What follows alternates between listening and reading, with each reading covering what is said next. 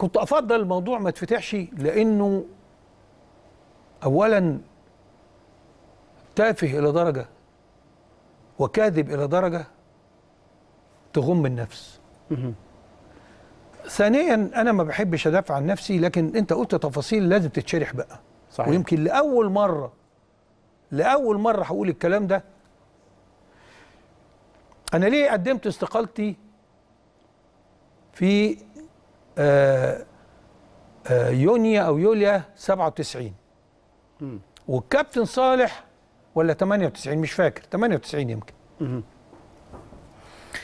والكابتن صالح فوجئ. وبعدين لما عرف السبب قال لي ممكن تستنى معانا لشهر تسعة بعد الجمعية العمومية؟ قلت له وقت ما تقول لي يا كابتن أنا موافق أنا جاهز. قال لي خلاص استنى الثلاث أشهر اللي جايين دول. لم يتلهف إنه يقبلها في ساعتها. بالعكس طلب مني الانتظار. ال- السبب وأبطال القصة أحياء. كنت أنا ابتديت تعشش في دماغي فكرة الاحتراف ودراسة الاحتراف وتطوير الكرة من منظور الاحتراف وكان ليا بعض الجهود فيه. فصديقي العزيز شفاه الله إيهاب صالح وهو راجل طموح ومغامر وهو موجود وحي وشاهد على القصة قال لي يا عدلي لعب في دماغك. فضل.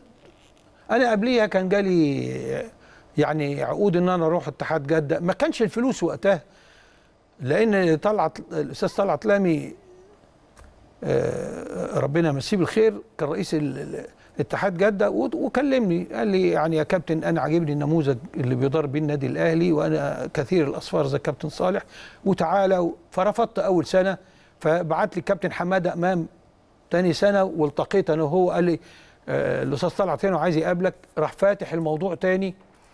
قلت له أنا بالنسبة لي سعيد في النادي الأهلي ومش عايز إن أنا أروح أشتغل يعني موظف علشان آه، مرتب أعلى في أي حتة. يعني. قال لي ولادك مش ولادك؟ قلت له ولادي الحمد لله إحنا متربيين على طبليه أبونا إحنا فلاحين. ولادي بإذن الله مطمئن على مستقبلهم وفي عش عندي مشاكل. فقال لي أنت غريب قوي طب ما تسأل رأي الكابتن صالح. أكلمه لك؟ قلت له لا ما تكلموش. أنا هسأل الكابتن صالح واللي هيقول لي عليه هعمله. رحمة الله عليه رحت له قلت له واحد اتنين كذا كذا كذا. قال لي وانت رأيك إيه؟ قلت له أنا مش أنا من جوايا مش عايز أمشي. قال لي لأ لو شايف إنك عايز تمشي وخجلان إنك تقول لي قول لي وأنا أوديك لأهل جدة. ده نادينا. سفر بسفر بقى. آه قلت له لأ أنا مش عايز أسافر. قال لي وقت ما تحب قول لي. ها وأنا أكلم صاحب اسمه آه الأمير محمد عبد الله عبد الفيصل. الله فيصل وقلت له يا كابتن أنا مبسوط لكن لما كلمني إيهاب مرة واثنين وثلاثة الفكرة بدت خطيرة. عايز يعمل شركة يسميها ال Egyptian football. وهيشرك معانا مؤسسة أخبار اليوم شريك. أيوه أنا شاهد على ده. و كل- اتكلمت وقلت كابتن صالح فما كانش مبسوط. بس قال لي اللي انت عايزه. ما بيمسكش في حد الكابتن صالح. آه طبعا. بعد ما مشيت ما وراش حاجة. ففي سبتمبر برضو أو الفترة من من سبتمبر ل لا قبل سبتمبر يمكن في آخر أغسطس. أنا بروح سيدي عبد الرحمن. آه. في هناك الساحل الشمالي واحد اسمه سلومة عنده سوبر ماركت صغير كده كان دلوقتي حاجة جبارة قوي. قال لي انت جيت؟ قلت له آه قال لي كابتن صالح جه. معلش أنا هطول في الحتة دي. لا اتفضل. قال لي الكابتن صالح جه وسألني هو عدلي ما جاش؟ كنت وقتها مقدم استقالتي لكن ما نفذتهاش لسه. مم. بناء على طلب الكابتن صالح اجلها والله على ما أقول شهيد في كل كلمة يعني. طبعا. فكان معايا أخويا شقيقي حامد أنت عارفه. أيوه. فقلت له ما تيجي نفوت على الكابتن صالح يكون عايز حاجة؟ رحت فالسفراجي هو في قرية الدبلوماسيين قال لي الكابتن في البحر. قلت له خلاص بلغوا إن أنا فوت. عليه جيت. ماشي. قال لي لا لا. انتظر أنا هروح له. قلت له ما تسيبوش يخليه يرجع من البحر. قال لي هيزعل. لو عرف إنك جيت وما قلتلوش. ومشيت. قلت له طب قول له هجي له في وقت تاني عشان ما يجيش هو من من القعدة اللي قاعدة. لقيت الكابتن صالح جاي لي. اتكلمنا اتكلمنا والراجل لطيف وقدمنا شربنا المشاريب بتاعتنا واخويا قاعد فلقى جلسة ودية جدا. وإحنا ماشيين قال لي ما كنتش عارف تستنى سنة ولا اتنين ونمشي سوا. امم أنا عملت كده. محمد بص لي بصة. قلت له لا يا كابتن ما أعرفش حساباتي جت كده.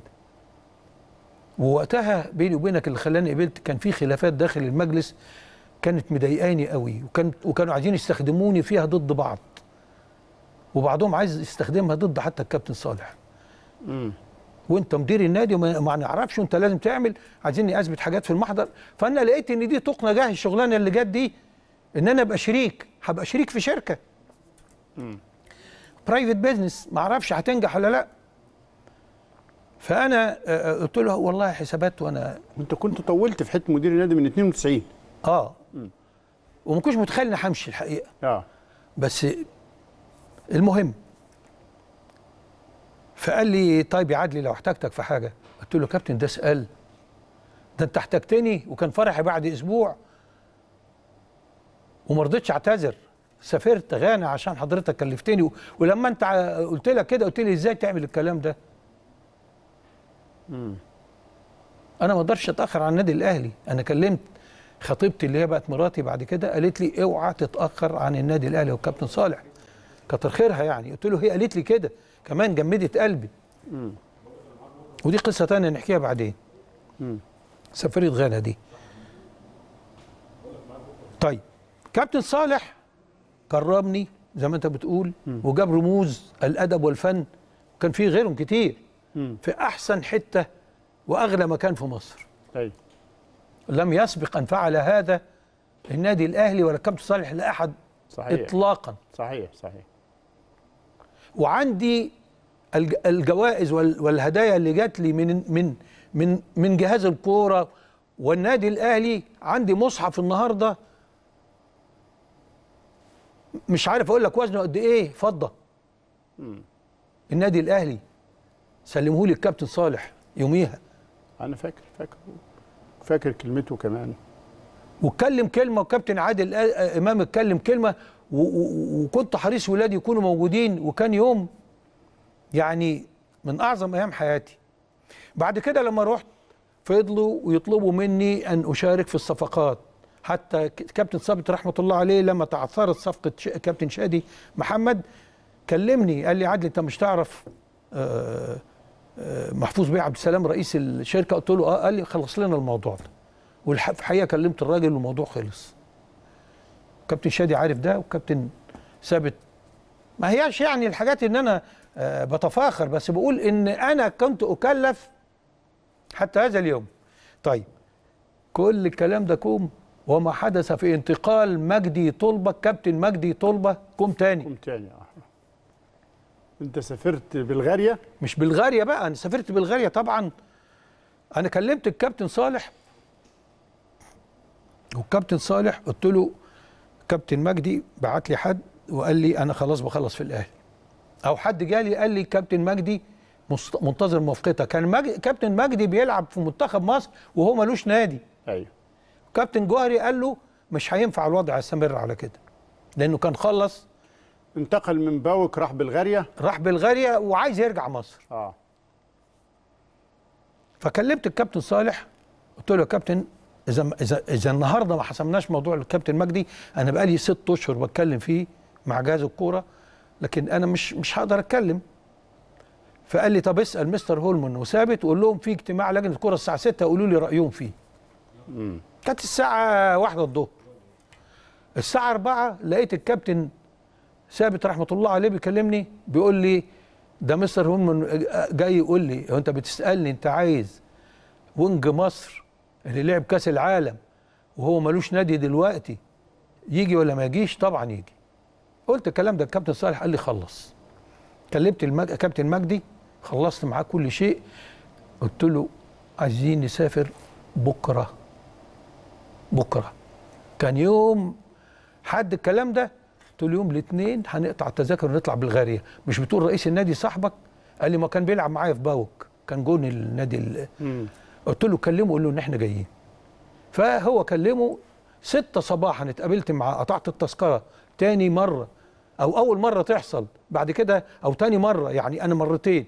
المرة بتاعت الكابتن حسام قطعتها في المطار مم. والمرة دي أنا عارف إنك أنت عايز. تنقل خلاص أنا بختم أهو. لا اتفضل. وأنا آسف إن أنا بحكي هذه القصص. لا لا مهمة مهمة. وما كان ينبغي إن أنا أتكلم لكن أنت فتحت موضوع ما ينفعش يتقفل إلا صح. صحيح. سافرت مع الكابتن مجدي قلت له اتفقت معاه على كام؟ قال لي هو الزمالك مخلص على خمسين ألف. مم. كان الراجل عايز مئة ألف واتفقنا على خمسين ألف. ده الكلام ده يوم الاثنين فطلبت من عباس الريدي يرحمه. الله عليه كان مدير المالي آه قلت له كلم الكابتن حسن ادوني خمسين ألف كل بكوة عشر تلاف خمس بواكي. إيه يا كابتن؟ أنا خلصت بقى العقود وخلصت حتى إيصال الاستلام كتبته وختمته وخليته على توقيع النادي. قلت له أنا عايز ليا ليا غرض في دماغي. رحت بالغاريه حطينا الشنط وصلنا 8 ونص ما طلعتش الأوض ما عرفناش أرقام أوضنا. لقينا عربية مستنيانا رحنا وصلنا على 9 ونص مكتب رئيس النادي 11 ونص كنت مخلص. مم. هو بيتكلمه فبيقول له أنا بقى طبعا في الأول عشان يبقى في حميمية قعدت أتكلم مع الراجل عن عن حياته الخاصة عن مشواره الكروي والكابتن مجدي حكى لي عنك وأنت كنت جون مش عارف كذا وإيه اللي وداك الشرطة بتلطف أنت الجو لا عايز أبقى في انتمتي بيني وبينه حميمية آه عشان اللي جاية بقى مم. فبعدين قلت له طب ما تيجي نخلص اللي إحنا جايين عشان وبعدين نكمل قعدتنا مم. فقال لي اتفضل. قلت له عايزين الاستغنى فقلت له ورحت مطلع له طلب من النادي الأهلي ممضي مختوم عشان مجدي طلبة ثلاثي بيني وبينه وبين مجدي طلبة. مج... الكابتن مجدي مضى عليه وجه يمضي عليه كده بص كده قال له إيه؟ الأهلي نادي الزمالك. لحد اللحظة دي كان فاكر نادي الزمالك هو اللي بيخلص. فضحك مجدي قال أديك شايف مين اللي اهتم وجه جري يخلص أهو. رحت تاني قال لي أوكي خلاص. إذا كنت أنت عايز كده أنا مش فارقة معايا. رحت مطلع الشنطة فاتحها كده. هو مش شايفها. وبطلع دي واحد اتنين تلاتة أربعة ورحت قافل الشنطة. آه. أربعين ألف. أنا ليه بحكي القصة دي؟ إيه دول؟ قلت له 40 قال لي إحنا متفقين على 50 قلت له ما أظنش إن إحنا بعد ما نقطع المشوار ده كله ورغبة الكابتن مجدي والجدية إن عمالة هنختلف على 10000 قال لي ده أنا كنت عايز 100 قلت له يعني سبت 50 مش هنسيب ال 10 دي. فضحك. قال لي كويس وعشان خاطركم وبتاع. مجدي أنت أوكي موافق؟ قال له طبعا موافق. أروح النادي أنا مضيت فراح واخد ال 40000 قال لها طلعي لي إيصال. كنت أنا كاتب الإيصال الاستلام. قلت له تختم لي هنا عليه. راحت تك ختماه قلت لها اديني إيصال من عندك بقى. فادتني ايصال من عندي رحت خاتم الاثنين مع الاستغنى مع طالب. فقلت له اسمع إحنا خلصنا كل حاجة. أنا حاجز يوم الاربع للرجوع. افتكرت ساعتها إن في ماتش. ماتش يوم؟ الاربع المحلة. المحل آه. أول ماتش لعبه وإحنا يوم. الاثنين. آه لا طب ليه ما الكابتن مجدي إحنا خلصنا كل؟ قلت له أنت مش ليك علاقات طيبة بالاتحاد؟ قال لي طبعا. قلت له تعرف تجيب لي شهادة دولية دلوقتي؟ مم. أنا عايز أسافر الظهر. قال لي أنتوا في أوض كام؟ قلت له إحنا الشنط ما طلعتش فوق.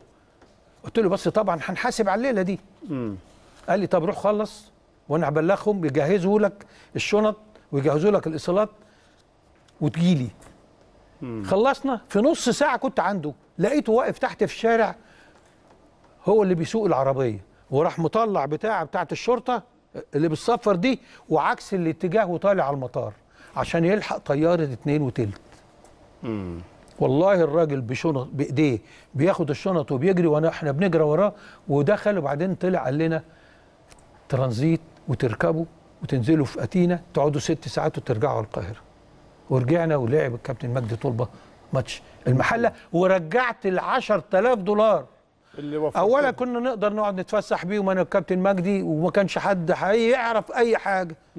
ولو عايز إيصال ب 50000 كنت هاخده لكن ده مش المهندس عادل. إنما إنما دي واقعة يشهد عليها الكابتن مجدي طلبة وأنا بقولها عشان صاحب الشأن موجود وحي يرزق تفاصيل علاقة المهندس عدلي بالنادي الأهلي عطائه غير المحدود للنادي الأهلي